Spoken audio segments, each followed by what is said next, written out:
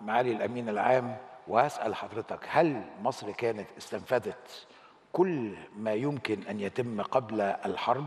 يعني كل ما كان يمكن أن يحدث لم يكن أمامنا بديل إلا الحرب؟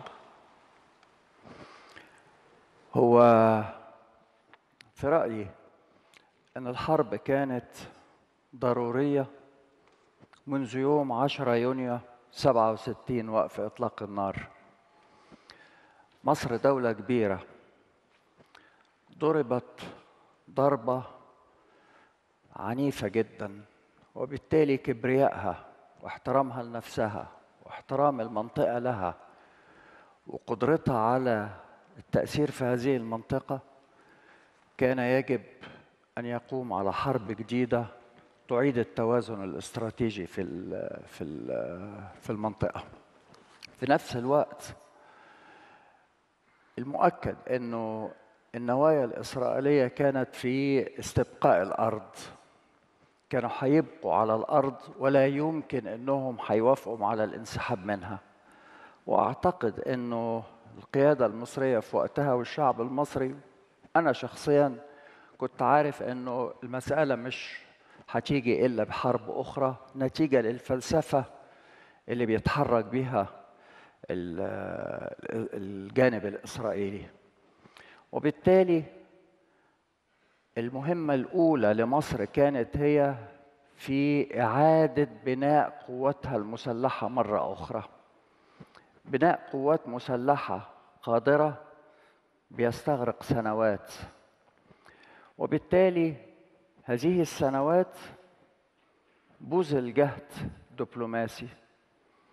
والعالم كان بيحاول إنه يقنع إسرائيل بالتجاوب مع فكرة الانسحاب من من الأراضي المحتلة. وبرضو أنا شخصيا لم يكن لدي اقتناع اطلاقا إنه الجهد الدبلوماسي هينجح. وبالتالي استغرقنا ست سنوات وثلاث أشهر نعيد بناء قواتنا المسلحة. ومع ذلك الجهد الدبلوماسي في وقتها كان في كثافة كبيرة جدا في السنتين الأخيرتين ولها أسبابها. على سبيل المثال أنا شخصيا قرأت برقيات على اتصالات مصرية أمريكية. يلتقي وزير الخارجية المصرية الدكتور محمد حسن الزيات مع ويليام روجرز وزير خارجية الولايات المتحدة في يوليو 72 في نيويورك أثناء دورة الجمعية العامة. يقول له شوف من هزم في المعركة عليه أن يدفع الثمن وبالتالي يتخلى عن الأراضي لصالح إسرائيل.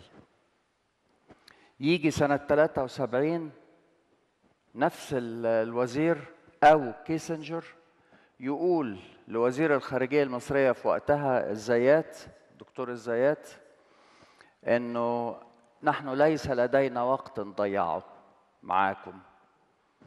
في هذا التوقيت الرئيس السادات قرر إخراج الخبراء السوفيت من مصر.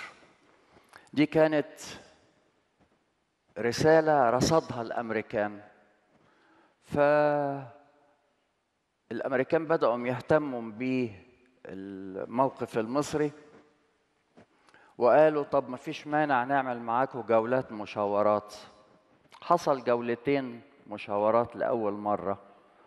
مرة في فبراير 18 و 19 فبراير 73 ومرة أخرى في 20 مايو 73 الأولى في لونج آيلاند في الولايات المتحدة والثانية في باريس. التقى كيسنجر مع مستشار الأمن القومي المصري محمد حافظ إسماعيل وكان واضح إن هما الاثنين غير قادرين على التوصل إلى تفاهم فيما بينهما. من هنا ولما عرض الأمر على الرئيس السادات توصل إلى النتيجة المؤكدة أنه لا يمكن إلا بعمل عسكري كبير يهز ال- الموقف. الرئيس بيعقد اجتماع في 30 سبتمبر 73 ست أيام قبل ال- الحرب. ويستقر الأمر على القيام بال- بالعمل العسكري ويبدأ العمل العسكري وينتهي بتحقيق ال- الهدف المصري.